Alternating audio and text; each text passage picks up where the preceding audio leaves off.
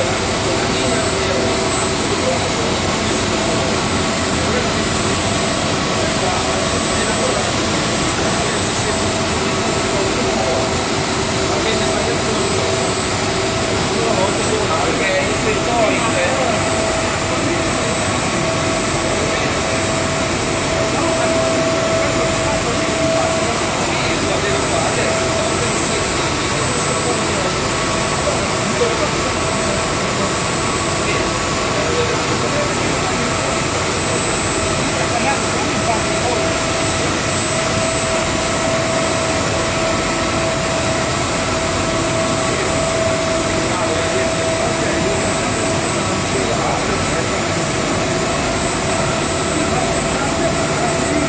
aí, eu acho que vai ser.